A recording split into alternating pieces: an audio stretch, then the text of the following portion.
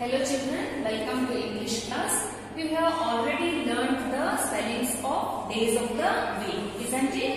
Today we will write missing letters in the spellings of days of the week. See children, here we have given the names of days of the week.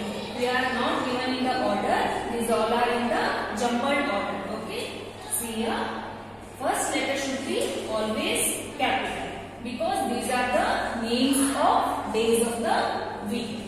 See here, here we have given the spelling of Tuesday. What is the Tuesday spelling? T U E S is given, D is given here. You should write A.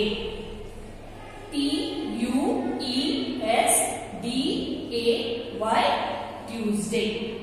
See here. Next one is which spelling it is. First you have to identify the letters here. T and H is given. This is Thursday spelling. What is the Thursday spelling? T H U R is given. Here you have to write S D A Y.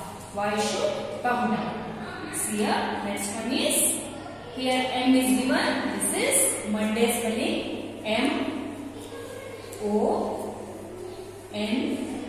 Is given A Y M O N D A Y Monday. Next one is this is which spelling it is? This is Sunday spelling. S is given U N D A is given. Lastly, you have to write here Y. S U N D A Y Sunday. Next one is here F is given. Which spelling it is? This is Friday spelling. F and R is given here. F R I D A Y. F R I D A Y Friday.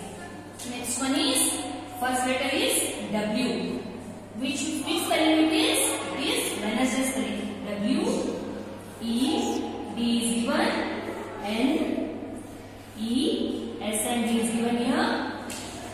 A Y.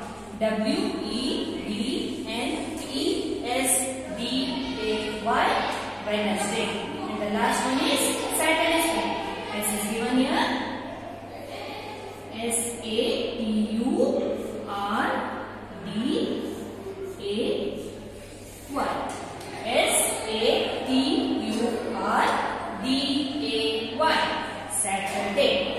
Like this, you have to write in your four lines book two times. Okay, children? While writing, you should say